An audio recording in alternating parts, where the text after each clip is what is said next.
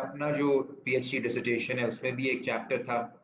और ये वैसे भी एक बहुत ही इम्पोर्टेंट शख्सियत भी है एम एन रॉय और एक बहुत इम्पोर्टेंट पीरियड भी है। उनकी बदकिस्मती है कि वो, क्योंकि हिंदुस्तान में पैदा हुए किसी यूरोपियन मुल्क में नहीं पैदा हुए, अमेरिका में नहीं हुए तो उनको इवन मार्क्सिस्टों में इतना नहीं पढ़ा जाता। अगर आप हमारा भी देखें तो ज़्यादातर लोग यूरोपियन थिंक, यूरोपियन थिंकर्स को पढ़ते हैं या फिर आ, कुछ हद तक रशियन रेवोल्यूशन या आप कह लें चाइनीज़ रेवोल्यूशन लेकिन बहुत सारे ऐसे थिंकर्स थे इस सारे पीरियड में ख़ासतौर पे बीसवीं सदी में जिन्होंने बहुत बड़ी बड़ी इंटेलेक्चुअल कॉन्ट्रीब्यूशन की लेकिन उनको सही तरह से उनको वो इज़्ज़त नहीं मिली जो उनका हक था। And M N Roy is one of them he was probably one of the most intellectuals, Marxist intellectuals from the non-European world in the 1920s.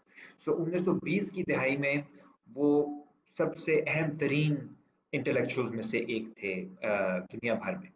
So so, ये उनका एक उनका उनके बारे में थोड़ा सा मैंने कॉन्टेक्स्ट uh, बनाना था।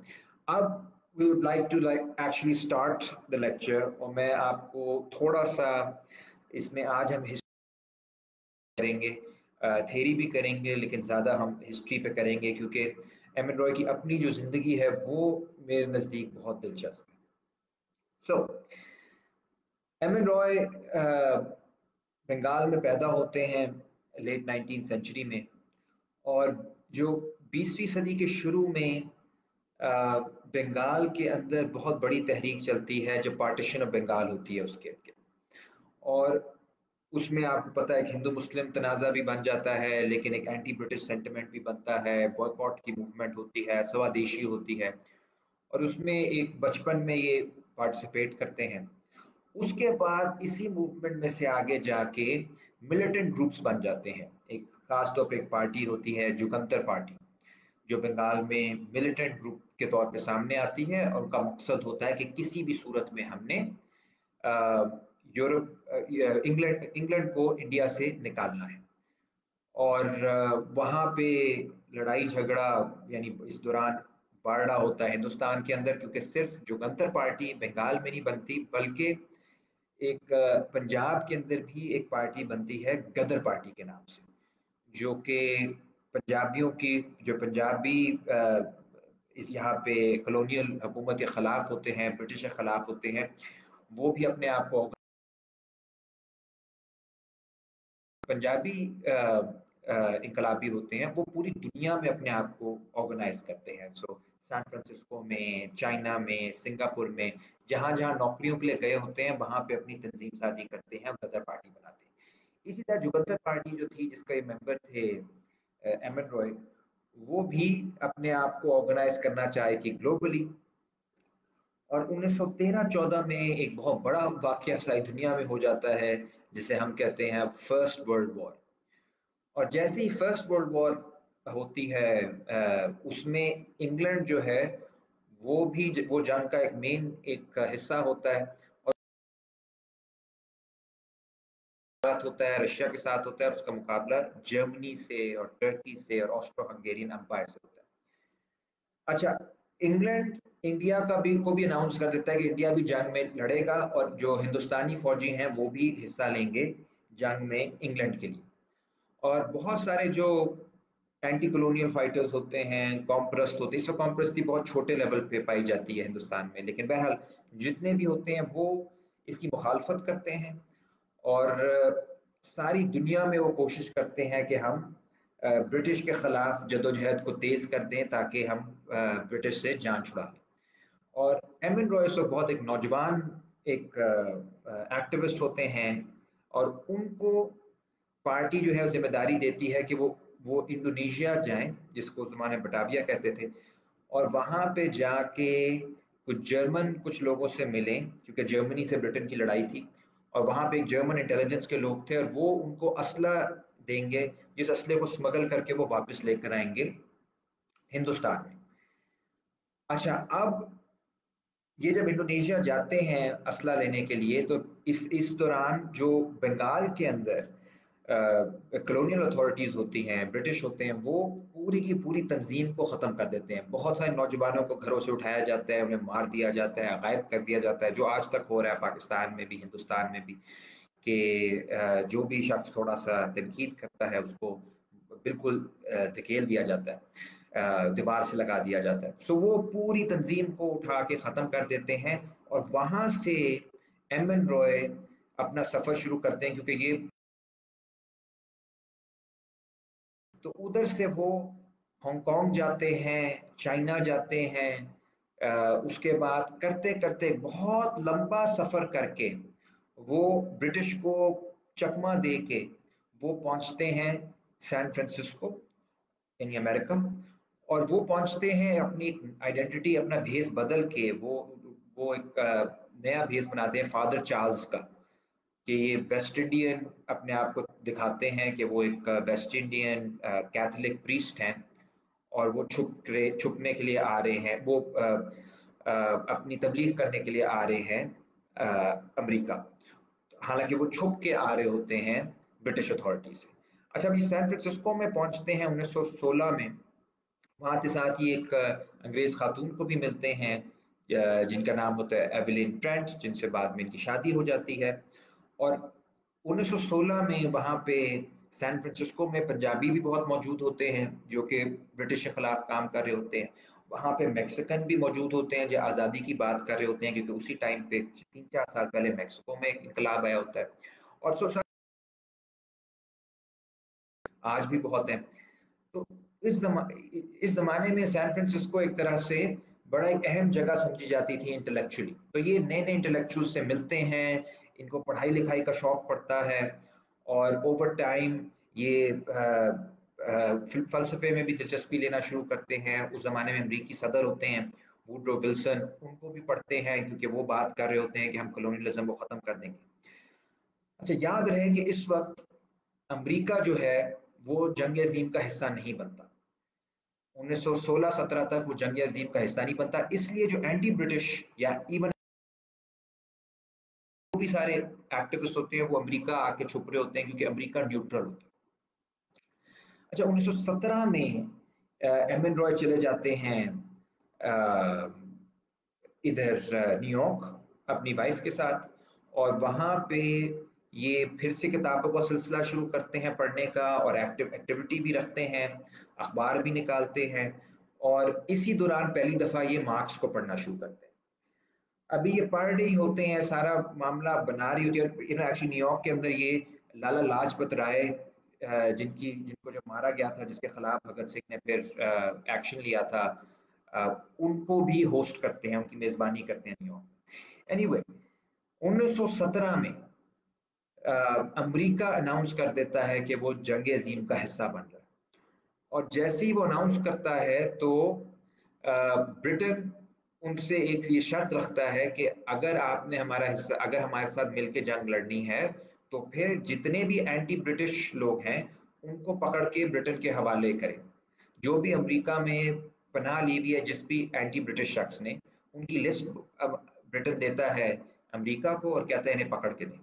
अब उनमें ज़ाहिर है सबसे ऊपर नाम होता है एम एन रॉय का। तो एम एन रॉय रातों रात ही भाग जाते हैं और बॉर्डर क्रॉस करके मैक्सिको चले जाते हैं। अच्छा मैक्सिको में इस दौरान इनकलाब इकलाबी हुकूमत आई होती है और वहाँ पे जो नए सदर एक सदर होते हैं करंजो के नाम से। उनके साथ आते साथ ही, अब आप इनकी एबिलिटी देखेंगे एबिलिटी इनकी बहुत अच्छी थी इंटेलेक्चुअल ये आते साथ ही स्पेनिश सीखते हैं और प्रेसिडेंट करंजो के बहुत ज़्यादा करीब हो जाते हैं, उनके इनर सर्कल का हिस्सा बन जाते हैं। और वहाँ से ही अपने आप को एक तरह से जो जो इनकलाबी सिचुएशन बनी होती है मैक्सिको के अंदर उसकी स्टडी भी कर रहे होते हैं उसके अंदर एडवाइस भी कर रहे होते हैं और आगे जाके एक सोशलिस्ट पार्टी जो होती है मैक्सिको की उसके उसका एक, एक लीडर भी बन के उभरते हैं। ये सब छः महीने के अंदर छः महीने के अंदर ज़ुबान भी उन्होंने सीख ली लिखना भी शुरू कर दिया और स्पेन के अंदर मैक्सिको के अंदर वो लोगों को इंडिया की तहरीक के बारे में भी बताना शुरू करते हैं। इस दौरान उनका झुकाव जो है वो नेशनलिज्म से पीछे हटने लग जाता है। उन्हें लगता है कि जो नेशनलिज्म है, वो नाकाफ़ी है, क्योंकि लोगों के जो मसाइल हैं, वो गुर्बत भी है, वो नौकरियाँ भी हैं। और उनको लग रहा होता है कि सरमाया, अगर हमें आज़ादी मिल भी जाएगी इंडिया को, और अगर उस आज़ादी के अंदर जो जो नई लीडरशिप आएगी, अगर वो उसी तबके से आती है, वही जागीरदार, वही सरमायादार तो फिर ब्रिटेन के जाने से भी कोई ज़्यादा फ़र्क नहीं पड़ेगा आम इंसान की ज़िंदगी में। और ये वो हो रहा होता है वो मार्क्स की जो राइटिंग्स हैं, उनसे इंस्पायर होकर चीज़ें सोच रहे होते हैं। इस दौरान जो एक सोवियत वहाँ पे एम्बेसडर होती है, यहाँ पे बड़ी एक चीज़ जो हो चुकी होती है कि 1917 ही में रशिया में कम्युनिस्ट इनकलाब आ चुका होता है। और बॉल्शेविक्स ने हुकूमत बना ली होती है। और एमन रॉय उसमें बहुत दिलचस्पी लेना शुरू करते हैं। अच्छा 1918 तक ये मैक्सिको में ही होते हैं और उस टाइम पे एक सोवियत एक ऑफिसर इनसे मैक्सिको सिटी के अंदर रबता करता है और कहता है कि आप अगर दिलचस्पी ले रहे हैं मार्क्सिज्म में और आपकी राइटिंग्स हमने पढ़ी हैं, आप इंटेलिजेंट हैं तो आप क्यों नहीं हमारे एक सोवियत यूनियन और इस, वो मीटिंग क्या थी? वो मीटिंग थी कॉमन टर्न की कम्युनिस्ट इंटरनेशनल की। और उसके अंदर सारी दुनिया के जो लीडिंग कॉमरेड्स थे मार्क्सिस्ट थे, वो मिला करते थे। और वहाँ पे फैसला साजी होती थी कि हमारी आलमी पॉलिसी क्या बनेगी। एम एन रॉय ने कबूल कर ली ये दावत और उसने कहा, मैं ज़रूर जाऊँगा। लेकिन मसला ये था कि कॉमन टर्न के अंदर सिर्फ़ कम्युनिस्ट पार्टी के लोग आ सकते थे। तो आपको किसी न किसी कम्युनिस्ट पार्टी का हिस्सा होना पड़ता था। हिंदुस्तान के अंदर कम्युनिस्ट पार्टी थी नहीं मैक्सिको के अंदर भी कम्युनिस्ट पार्टी नहीं थी। सो so, उन्होंने जो रशियंस थे उन्होंने एम एन रॉय को कहा कि आप ऐसा करें कि मैक्सिको के अंदर कम्युनिस्ट पार्टी बना लें और उसकी नुमाइंदगी हम आपको दे देंगे उसकी बुनियाद पर हम आपको नुमाइंदगी दे देंगे कॉमनटर्न की मीटिंग में। तो जो कम्युनिस्ट पार्टी ऑफ़ मैक्सिको है वो एम एन रॉय ने बनाई। ये बड़ी एक मज़े की बात है कि वो हालाँकि उनका मैक्सिको से कोई डीप ताल्लुक नहीं था लेकिन क्योंकि वहाँ पे मौजूद थे और एक्टिव थे सिर्फ़ दो दो साल वहाँ पे रहे। तो उन्होंने कम्युनिस्ट पार्टी ऑफ़ मैक्सिको के भी वो बानी थे। और वहाँ आज भी मैक्सिको सिटी के अंदर उनका एक स्टैचू है मैन रॉय एनीवे anyway, वहाँ से फिर वो चल के आते हैं उनको दावत मिलती है as leader of the communist party of Mexico वो कॉमेंटन जाते हैं पेट्रोग्राड जाते हैं कॉमेंटन की मीटिंग में। और पहला सेशन होता है, इस ज़माने में अभी दो तीन साल हो चुके होते हैं हुकूमत को आए हुए बॉल्शेविक्स को और लेनिन आके अपना थीसिस देते हैं कलोनियल क्वेश्चन के ऊपर और बहुत ज़्यादा ये बात रखते हैं कि हमें कलोनियल जो स्ट्रगल्स हैं एंटी कलोनियल स्ट्रगल्स हैं, उनमें अब शामिल होना पड़ेगा। अच्छा इस यहाँ पे इंटरेस्टिंग बात यह है कि इस दौरान मार्क्सिस का या सोवियत यूनियन का या लेनिन का जो पर्सपेक्टिव था, वो भी बदल रहा था। उनकी सोच भी बदल रही थी। वो कैसे? पहले सारी की सारी जो उनकी सोच थी लेनिन की ट्रॉट्सकी की स्टालिन की और भी जितने भी इनके जिनोवीव और बड़े बुखारी, बड़े थिंकर्स थे पार्टी के, वो सारे के सारे ये सोचते थे कि रशिया में जो रेवोल्यूशन आई है, वो बच तब ही सकती है, अगर उसकी ज़्यादा डेवलप्ड मुल्क है, जैसे जर्मनी या फ्रांस या इंग्लैंड या इवन कल को अमेरिका, इन ममालिक में अगर इनकलाब आए, क्यों? क्योंकि इनके पास इतनी प्रोडक्टिव कैपेसिटी है, इनकी इंडस्ट्री इतनी स्ट्रांग है कि ये रशिया को भी सपोर्ट कर सकेंगे और हकीकी मानों में एक ऐसा सिस्टम बना सकेंगे जिसमें इंसानी ज़रूरत इंसानी ज़रूरत जो है वो पूरी हो जाए। क्योंकि रशिया खुद जो था, वो एक गरीब मुल्क था, वो यूरोप के अंदर एक बैकवर्ड मुल्क कंसिडर होता था। अब सतम जरीफी ये थी कि उन्नीस, जैसे ही वर्ल्ड वॉर ख़त्म होती है 1918 1919 में तो सारी वेस्ट में इनकलाबा, इनकलाबी तहरीकें बनती हैं। जर्मनी में भी होती है, इटली में होती है हंगरी में होती है, इंग्लैंड और अमेरिका में नहीं होती, लेकिन इन ममालिक में होती हैं। जर्मनी में बहुत बुरी तरह सोशल डेमोक्रेट्स यानी लेफ़्ट लिबरल टाइप जो है वो कम्युनिस्टों खिलाफ होकर पूरी तहरीक को तबाह कर देते हैं और जो बहुत हमारी बड़ी एक शहीद है तहरीक की रोज़ा लग्जमबर्ग उनको बहुत बुरे तरीके से इस टाइम पे आ, मार दिया जाता है। और इसी तरह यही कुछ हंगरी में होता है और इटली के अंदर जो तहरीक बनती है वो सोशलिस्ट में नाकाम हो जाते हैं और उसकी जगह फिर मुसलिनी यानी फाशिस्ट जो है वो सामने आ जाता है। यानी और अमेरिका के अंदर कोई तब्दीली नहीं आती इंग्लैंड के अंदर कोई नहीं आती। यानी जो आपके सरमाया के सेंटर हैं वहाँ पे आ, वहाँ पे रुजती हुकूमतें कायम हो जाती हैं। इन हालात की वजह से लेनिन और बाकी भी बड़े थिंकर्स जो तहरीक के बड़े थिंकर्स थे वो मायूस होके यूरोप से यूरोप के बाहर देखना शुरू करते this is the time of the encounter the beginning of the encounter between communism and anti colonialism इससे पहले थे मतलब थेरेटिकली बहुत बात हुई थी कॉलोनियलिज्म पे इंपीरियलिज्म के। लेकिन ओवर टाइम चीज़ें, यानी इस टाइम के अंदर चीज़ें आहिस्ता आहिस्ता तब्दील होके जाना शुरू हुई नॉन यूरोप की तरफ़, या ब्राउन लोगों की तरफ़, या एशियन या अफ्रीकन लोगों की तरफ़ सरमत जो बात करें बिल्कुल सही है। रेसिज्म नहीं तो कम अज़ कम एक ब्लाइंडनेस थी नॉन यूरोप की तरफ़ कि शायद ये अभी काबिल नहीं है कि इनकलाब कर सके। और इंटरेस्टिंग बात है कि जैसे ही ये, ये जब ये जो शिफ्ट होता है Marxism from being a European philosophy to to a non European philosophy ये एक बहुत इंपॉर्टेंट शिफ्ट है बीसवीं सदी का जिसपे ज़्यादा अभी तक से नहीं लिखा गया क्योंकि मार्क्सिज्म मैंने पहले भी कहा था एक दफ़ा कि मार्क्सिज्म वाहिद एक यूरोपियन फलसफा है, जो कि नॉन यूरोप के अंदर, यानी चाइना के अंदर रशिया के अंदर वस्ती एशिया के अंदर कोरिया के अंदर कम्बोडिया लाओस निकरागुआ क्यूबा इन ममालिक में ज़्यादा उसको पिजराई मिली as compared to America England या इंग्लैंड जहाँ पे फॉर एग्जांपल मार्क्स मार्क्स खुद रहता था। तो जो तो ये एक एक यूरोप को डिसेंटर किया प्रैक्टिकली मार्क्सिस्ट स्ट्रगल्स ने। और उसमें बड़ा जो रोल था, वो था एंटी कॉलोनियल मूवमेंट्स का। और ये चीज़ लेनिन को नज़र आ रही थी कि जैसे ही जंग अजीम ख़त्म होती है मार्क्सिस्ट तहरीकें यूरोप के अंदर ख़त्म होती हैं और उसके साथ ही साथ एंटी कॉलोनियल तहरीकें पूरी कॉलोनियल वर्ल्ड में शुरू हो जाती हैं, बहुत ज़्यादा मज़बूत हो जाती हैं।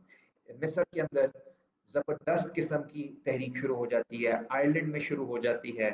फिर आप लोग को मालूम है जो यहाँ पे जलियांवाला बाग का पूरा वाक्य है अमृतसर में उससे एक तरह से पूरी जो जो पूरा हिंदुस्तान हिल के रह जाता है, उसमें जिस तरह से कत्लेआम किया जाता है इंडियंस का और फिर उसके बाद उनको उनको इस तरह की सजाएँ मिलती हैं कि सड़क पे हर कोई रिंग के चले और इस बहुत एक ह्यूमिलिएशन दी जाती है उसके खिलाफ एक बाकायदा तहरीक बनती है। और यही आपको नज़र आएगा अरब दुनिया के अंदर अफ्रीका के अंदर, साउथ अफ्रीका में तहरीक तेज़ हो जाती है। सो so you have the collapse of marxist movements in europe and you have the rise of anti colonial movements लेकिन इन एंटी कॉलोनियल मूवमेंट्स के अंदर मार्क्सिस्ट टेंडेंसी नहीं होती क्योंकि यूरोपियंस ने कभी मार्क्सिज्म वाली चीज इनसे बात ही नहीं की होती यानी ये इंडिपेंडेंटली दो मूवमेंट्स चल रही होती हैं and this is the first time when both of these combine, when Lenin gives his thesis on the colonial question, वो पूरा एक थीसिस प्रेजेंट करता है कि हमें हर हालत में एंटी कॉलोनियल मूवमेंट्स को सपोर्ट करना पड़ेगा और आ, हमें हमें ब्रिटिश को और जो बाकी कॉलोनियल पावर्स हैं उनके खिलाफ जो महाज है उसे तेज करना पड़ेगा।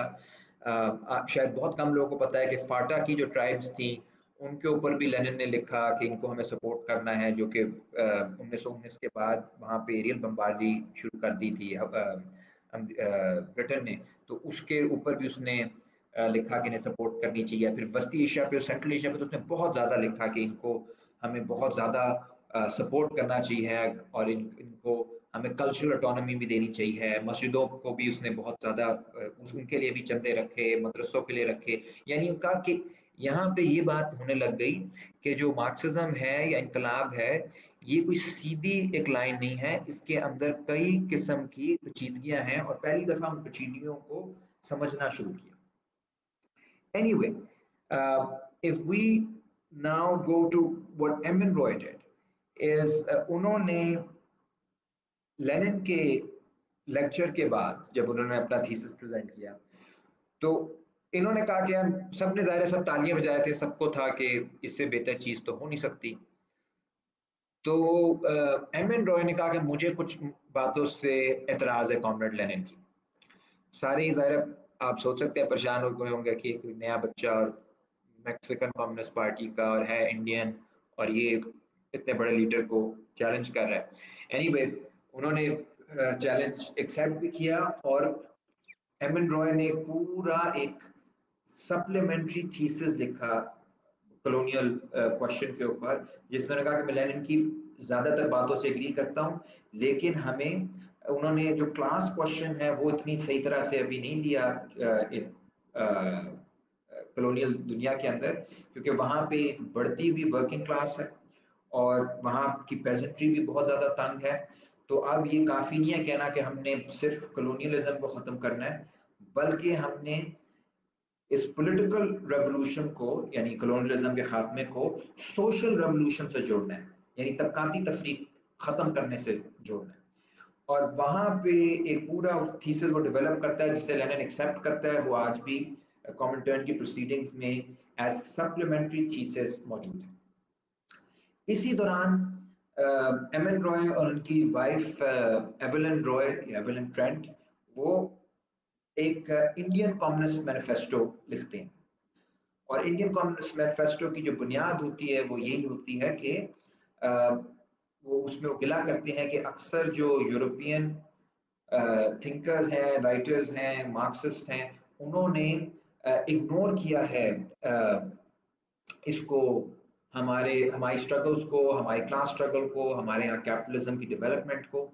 और अब ये टाइम आ गया है कि हम एक मुश्तर जदोजहद करें और ये चीज़ वो वो मेंटेन करते हैं थ्रू आउट हिज लाइफ जहाँ पे बुनियादी तौर पे ये बात रखते हैं कि जो एक मसला आ रहा है ब्रिटिश वर्किंग क्लास का और यूरोपियन वर्किंग क्लास का, वो ये है कि जो यूरोप जो ब्रिटिश वर्किंग क्लास है, वो सिर्फ़ नेशनल इश्यूज़ को देख रही है और नेशनल वर्किंग क्लास को देख रही है वाइट वर्किंग क्लास को। और वो किस, कैसे साबित होती है बात? वो इस तरह के उनके जो सारे इश्यूज़ होते हैं, ये होते हैं कि हमारी थोड़ी सी वेज बढ़ा दो, हमें नौकरी बेहतर दे दो, हमें सेफ्टी कर दो। कहता है, बिल्कुल सही इश्यूज़ हैं, होने चाहिए। लेकिन वो ये नहीं देखते कि जो उनको नौकरियाँ मिल रही हैं, जो उनको डेवलपमेंट नज़र आ रही है, जिससे वो फ़ायदा उठा रहे हैं, वो उसकी बुनियाद जो है, उसका जो पस मंजर है, उसका जो बैकग्राउंड है वो वो लूट खसूट है जो हिंदुस्तान में हो रही है, जो अफ्रीका में हो रही है, जो बाकी दुनिया में हो रही है। तो कह रहे कि ये जो इस किस्म की लेबर मूवमेंट है, जिसका जो दायरा है, जिसका जो देखने का तरीका है, वो इतना महदूद है कि वो अपने कौमियत से बाहर नहीं निकल पा रही, अपनी नेशन स्टेट से बाहर नहीं निकल पा रही। उसका नतीजा ये है कि वो रिफॉर्मिस्ट होती है। वो चंद रिफॉर्म्स मांग रही है कैपिटलिज्म से। और जो बड़े बड़े सरमायादार हैं या हुकूमत है इंग्लैंड की, वो उनकी बहुत सारी बातें मान लेते हैं। अब उसका तरीका क्या होता है कि उनकी बातें मान लेते हैं, लेकिन फिर कॉलोनीज के अंदर इस्तेसाल और बढ़ा देते हैं। So they accept certain demands of their own working class by increasing exploitation of those in the peripheries और इसके ज़रिए वो एक इम्प्रेशन ये देते हैं कि सिस्टम जो है, ये चल रहा है और कामयाब है। अब अब कहते हैं, अगर तो अब यहाँ पे I think he makes a very important point कि अगर आपने रिफॉर्मिस्ट पॉलिटिक्स करनी है तो फिर तो ये ठीक है कि आप सेंटर की बात करो सेंटर में थोड़ी सी बेहतरी हो जाए, थोड़े से ज़्यादा एजुकेशन थोड़े से ज़्यादा अस्पताल। लेकिन अगर आपने हकीकी मानों में सरमायादारी को हराना है या सिस्टम को हराना है, जो भी आप उस सिस्टम को कह लें कलोनियलिज्म कह लें, आप उसको स्टेट अथॉरिटेरिज्म कह लें या कैपिटलिज्म कह लें तो फिर आपको अपनी जो, अपना जो दायरेकार है, अपना तजिए का, वो वसी करना पड़ेगा और उसमें उन तमाम लोग को शामिल करना पड़ेगा, जिनकी जिनकी बुनियाद पे, जिनके इस्तेसाल के ऊपर आपको कुछ ना कुछ जो है वो मिल रहा है। अब यही आप एग्जांपल अक्सर लोग हमसे कहते हैं कि जी पाकिस्तान के अंदर आप क्यों रेस करते हैं? इशू बलूचिस्तान का, पख्तूनख्वा का, इस तरह के और, या हम किसानों का इशू क्यों रेस करते हैं बहुत ज़्यादा? जब, जबकि मार्क्स ने कहा था वर्किंग क्लास की ज़्यादा बात करें। उसकी वजह यह है कि अगर आप सिर्फ़ वर्किंग क्लास या इंडस्ट्रियल लेबर की बात करेंगे तो फिर आपको समझ नहीं आएगा कि सिस्टम एक्चुअली चलता कैसे है। सिस्टम की जो बुनियाद है, वो इस्तेसाल है उन परतों का, जो कि हमारी कैलकुलेशन में नहीं आते, लेकिन जिनके बगैर आप सिस्टम को समझ नहीं सकते। आप मिसाल के तौर पे ब्रिटेन क्या जो अभी लेटेस्ट एक उन्होंने जेएनयू की एक इकोनॉमिस्ट हैं, जिन्होंने ये एक इंटरव्यू में बताया डॉक्टर पटनायक। उन्होंने कहा कि तकरीबन पैंतालीस ट्रिलियन डॉलर या पैंतालीस खरब डॉलर इंग्लैंड ने इंडिया से चोरी किए 200 सालों अब ये किससे चोरी किए ये चोरी किए किसानों से, ये चोरी किए जो छोटे आपके छोटी सनतें थी उस जमाने में, जो आपके फिर वर्कर्स थे, फिर आपके जो सारे लोगों को जमीनों से बेदखल किया गया। तो ये उनकी चोरी हुई। इस चोरी की बुनियाद के ऊपर इंडस्ट्रियल रेवोल्यूशन आया इंग्लैंड में। सो ये यहाँ पे अंडर डेवलपमेंट हो रही थी तो उनकी डेवलपमेंट हुई। तो अब अगर आप बंदा कह, क्या देखिए इंग्लैंड सिविलाइज्ड है और हम इतने अनसिविलाइज्ड हैं तो उसके पीछे वो सारी एक्सप्लोइटेशन और बड़ी भयानक किस्म की बरबरीत से भरी हुई एक्सप्लोइटेशन मौजूद है, जिसकी बुना पे वो कहते हैं कि हम सिविलाइज्ड और यहाँ पे जो है लोग अनसिविलाइज्ड तो अगर ये लिंक हम नहीं बनाएँगे तो फिर हम रेवोल्यूशनरी पॉलिटिक्स नहीं कर सकते। फिर हम सिर्फ़ अपने अपनी अलग अलग की करेंगे और इवेंचुअली वो एक लिबरल पॉलिटिक्स होगी जिसमें एक तरफ़ इंग्लिश वर्किंग क्लास ये कहेगी कि जी हमें हाफज दें थोड़ा बहुत वेजेस बढ़ा दें बाकी। और दूसरी तरफ़ वो कहेंगे कि जी इमिग्रेंट्स को बाहर रखें। पाकिस्तानियों को ना आने दें, अरब्स को ना, आने दें अफ्रीकन को ना आने दें। और वो फिर एक लिबरल और कभी कभी राइट विंग पॉलिटिक्स का एक मिक्स बन जाएगा जो सारी दुनिया में हमें नज़र आ रहा यहाँ पे मैं एक और बात करूँ कि I think M N Roy की जो एक बड़ी कंट्रीब्यूशन है, वो वो ये है कि उसने, वो पहला बड़ा थिंकर था नॉन यूरोपियन दुनिया का, जिसने जो इंकलाबी थेरी है उसके अंदर ये बात बाबर कराई कि जो रेवोल्यूशनरी सब्जेक्ट है या जो जो इंकलाब का हरावल दस्ता है वो ज़रूरी नहीं वही हो जो मार्क्स ने कहा था। मार्क्स ने कहा था हरावल दस्ता जो है वो इंडस्ट्रियल लेबर होगा यानी जो फैक्ट्रियों में वर्कर्स हैं वो होंगे। लेकिन एम एन रॉय ने कहा कि यार उसके साथ साथ हमें और भी ग्रुप्स को देखना है हमें मिडिल क्लास को भी देखना है। स्टूडेंट्स के लिए वो बहुत ज़्यादा लिखता था। आ, इसके अंदर फिर किसानों के ऊपर उसने बहुत लिखा। और ये चीज़ जो है, ये ओवर टाइम जाके बहुत बड़ी चीज़ साबित हुई बीसवीं सदी में। बीसवीं सदी में जो इनकलाब आए मार्क्सी, उनमें से अक्सर जो थे, उनमें जो हरावल दस्ता था, वो वो किसान थे और बहुत जगहों पे स्टूडेंट्स भी थे।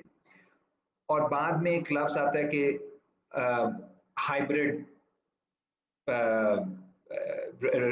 हाइब्रिड मूवमेंट्स ये हाइब्रिड रजीम जिस तरह आजकल पाकिस्तान में है, उस तरह हाइब्रिड रेवोल्यूशनरी मूवमेंट्स का मतलब कि मुख्तलिफ़ जो परतें आपस में मिलेंगी और ये पार्टी का काम होगा कि उन सबको जोड़ें। इसलिए जो पार्टी का रोल है, बहुत इंपॉर्टेंट हो जाता है बीसवीं सदी में कि उन सबको जो मुख्तलिफ़ जगहों से आ रही हैं, मुख्तलिफ़ जावियों से ग्रुप्स आ रहे हैं, उनको किसी एक पोलिटिकल प्रोजेक्ट के अंदर, किसी एक लॉजिक के अंदर, किसी एक ओरिएंटेशन के अंदर उनको जोड़ा जाए। So this is part of what M N Roy was saying और फिर ये ये बात में माओ ने भी ये बात की, ये बात होचीमेन ने भी की, ये फिडेल ने भी की। फिडेल ने मिडिल क्लास को वर्किंग क्लास को और किसानों को, तीनों को जोड़ा।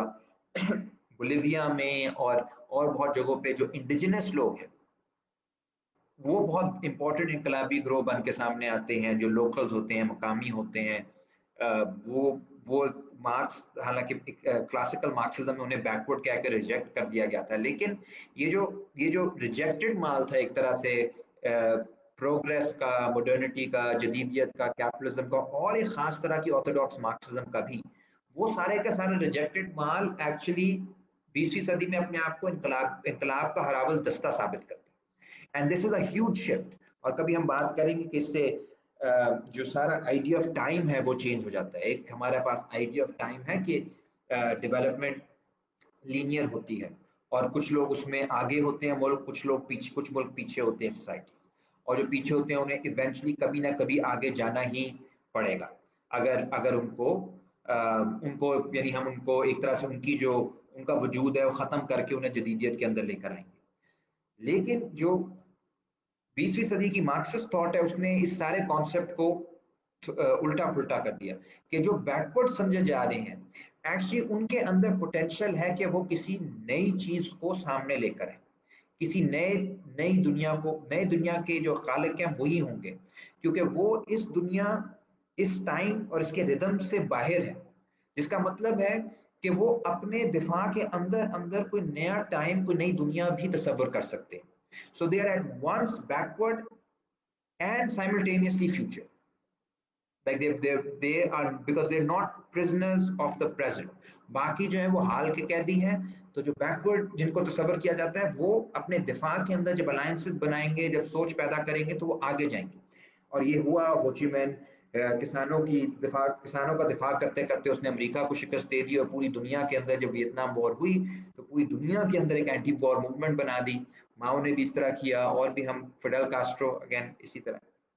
और एन ने बात की थी कि जो मुस्तबिल के इनकलाबात हैं, उसमें जो हर अवल दस्ता होगा, वो कलोनियल दुनिया का होगा, और एंटी कलोनियल मूवमेंट्स का होगा, क्योंकि ना सिर्फ़ वो अपने मुल्कों को आज़ाद कराएँगे अंडर डेवलपमेंट से रोकेंगे, भूख नंग से अपने लोगों को बचाएँगे, बल्कि वो यूरोप के अंदर भी इनकलाबी तहरीकों को मज़बूत करने में मदद करेंगे।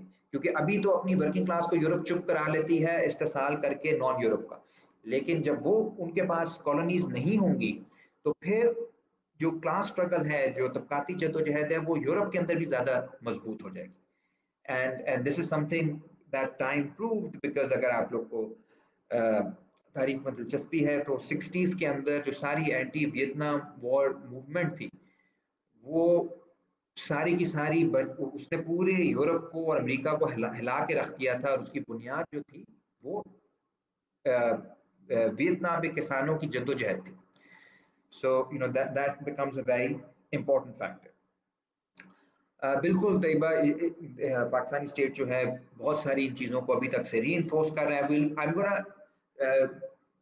एंड दिस इन आखिरी जो पाँच छः मिनट अगर हम करें तो मैं थोड़ा सा आगे स्टोरी चलाना चाहूँगा कि फिर एम एन रॉय साहब के साथ हुआ क्या। एम एन रॉय बहुत इम्पोर्टेंट एक थिंकर और इंटेलेक्चुअल और पॉलिटिकल फिगर बन गए मॉस्को के अंदर। और उस सारे अरसे में उनके हवाले की इन्होंने ताशकंद के अंदर एक यूनिवर्सिटी जो लेनिन ने बनवाई थी university of the toilers of the east और ये यूनिवर्सिटी इसका मकसद था कि पूरी दुनिया से जो लोग ख़ास तौर पे जो तीसरी दुनिया से या कॉलोनियल दुनिया से जो लोग आ रहे हैं उनको वहाँ पे तरबियत दी जाए। और इसमें उन्होंने बहुत सारे इंडियंस को भी पढ़ाया जिसमें आपका आ, आप आप ने शायद सुना हो एक हिजरत मूवमेंट हुई थी 1919-20 में। जब बहुत सारे जो मुसलमान थे, वो खिलाफत मूवमेंट की वजह से दारुल उन्होंने करार दिया, हिंदुस्तान को और वो चले गए अफ़गानिस्तान। अफ़गानिस्तान से जब उन्हें निकाला गया तो आगे वो वस्ती एशिया गए। वस्ती एशिया में जाके उन्होंने लड़ाई देखी। एक तरफ़ खाना जंगी उस वक्त हुई थी रूस में, एक तरफ़ वाइट्स थे। जिसमें मौलवी भी थे और उनको सपोर्ट थी अमेरिका की। जो मौलवियों को सपोर्ट करने वाली बात है अमेरिका की तरफ़ से, ये सिर्फ़ अफगान जहाद एटीज़ में नहीं हुआ। ये जो रशिया के अंदर सिविल वॉर थी नाइनटीन ट्वेंटीज़ की, उसमें भी अमेरिका ने और इंग्लैंड ने मौलवियों को सपोर्ट किया था सेंट्रल एशिया में बॉल्शेविक से खिलाफ। और दूसरी तरफ़ बॉल्शेविक्स थे तो ये सब लड़के जो हैं, ये बॉल्शेविक्स की साइड पे चले जाते हैं और आगे जाके ताशकंद में जब पहुँच पहुँच जाते हैं, जहाँ पे उनको एम एन रॉय पढ़ाता है मार्क्सिज्म छः महीने वो मार्क्सिज्म पढ़ते हैं और ताशकंद के अंदर ही वो कम्युनिस्ट पार्टी ऑफ़ इंडिया बनाते हैं। पहली communist party of India Tashkent में बनती है 1921 में और उसके जो जनरल सेक्रेटरी होते हैं वो मौलाना हसरत मोहानी होते हैं। सो so, उसके बाद एम एन रॉय एक्टिव रहते हैं कॉमन टर्न के अंदर और कलोनियल क्वेश्चन पे बीच में जाके वो चाइना भी में भी रहते हैं। माओ के करीब होते हैं वो इन्फॉर्म कर रहे होते हैं कॉमन टर्न को कि क्या करना चाहिए, क्या नहीं करना चाहिए। बाय 1928-29 उनके डिफरेंसेस शुरू हो जाते हैं स्टालिन के इनर सर्कल से। और इवेंचुअली उनकी जो एक, उनका जो एक इंपॉर्टेंट चीज़ होती है, वो ये होती है कि वो कहते हैं कि अभी भी बहुत सारे जो मार्क्सिस्ट हैं, वो रटे रटाए फॉर्मूलाज पे चल रहे हैं और मफरूज़ों में बात करते हैं, वो मारूजी हालात को नहीं देख पा रहे। वो जो आपके लोग, जो मटेरियल कंडीशन है हर सोसाइटी की, जो उसकी इंडिजिनस स्ट्रगल्स हैं, उन्हें समझ नहीं पा रहे। एक जगह वो लिखते हैं कि कोई भी अगर मूवमेंट बनती है तो फॉरेन मार्क्सिस्ट कह रही है, पाकिस्तान में भी ऐसे हैं बहुत सारे, जो कोई भी छोटी सी मूवमेंट बनती है, कहते हैं, इनकलाब आ गया, इनकलाब आ गया, अब कोई अगर कॉम्प्रोमाइज़ करेगा तो वो गद्दार होगा। कहता इतना आसान नहीं है। जो पॉलिटिक्स को अगर आपने समझना है तो आपको टाइम की अंडरस्टैंडिंग बदलनी पड़ेगी। इनकलाब ऐसी नहीं कि एक मूवमेंट आएगी और फॉरन इनकलाब आ जाएगा। रेवोल्यूशन इज़ एक्चुअली और politics in general is about broken time कभी आगे होगा, कभी पीछे होगा, कभी कोई नई चीज़ आपके सामने आ जाएगी, कभी पुरानी चीज़ जो है वो प्रोलॉन्ग हो जाएगी। And politics is the art of stitching it all together जैसे हमारे दोस्त हैं, अयाज वो लफ्ज इस्तेमाल करते हैं सुचर स्टिच करना, चीज़ों को जोड़ना।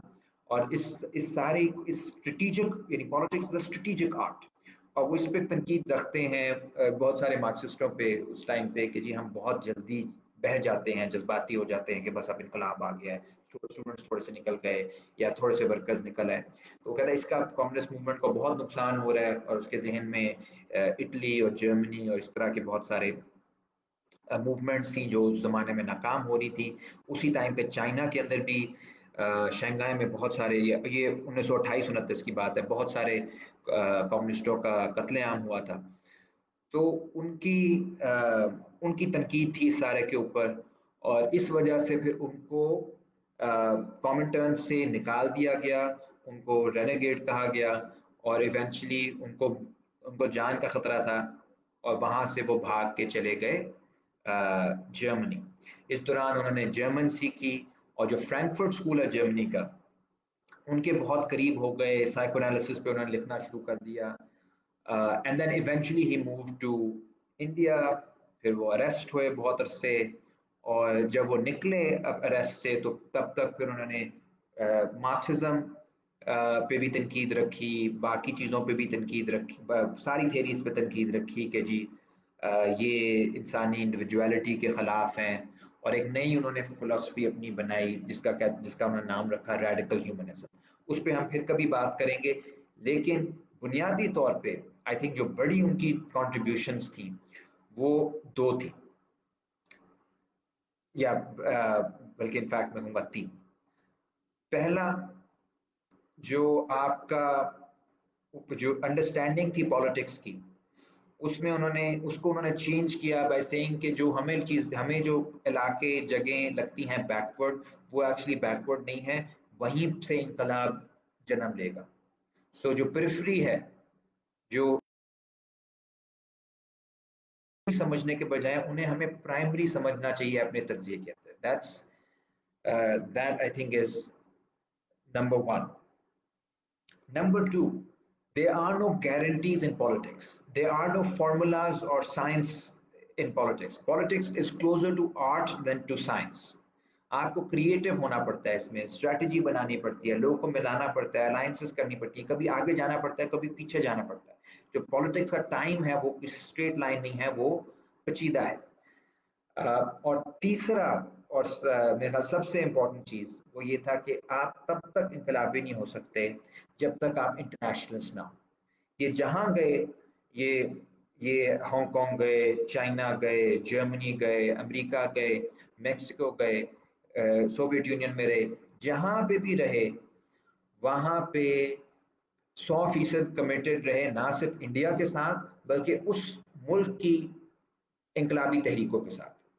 सो so, आजकल जो हमें बहुत ज़्यादा पढ़ाया जाता है हमें तफरीक है डिफरेंस है एथनिक डिफरेंस है पंजाबी बाकियों से डिफरेंट है बाकी उनसे डिफरेंट है। उस सब के खिलाफ ही propose the possibility of sameness of similarity कि हमें बहुत सारी चीज़ें जो हैं वो यकसा हैं कॉमन है and it's only by emphasizing commonality that we can build a radical movement आज के लिए इतना ही। सॉरी क्वेश्चंस अभी नहीं हो सकेंगे। आप क्वेश्चंस अपने लिख दीजिएगा। मैं आपको कमेंट uh, सेक्शन में उसको आंसर कर दूँगा। थैंक यू सो मच और मैं कुछ और रीडिंग्स भी उसके ऊपर रेकमेंड uh, uh, करूँगा। टेक केयर खुदाफिज और अगले हफ़्ते हम आ रहे हैं जोडी डीन के के लेक्चर खुदाफिज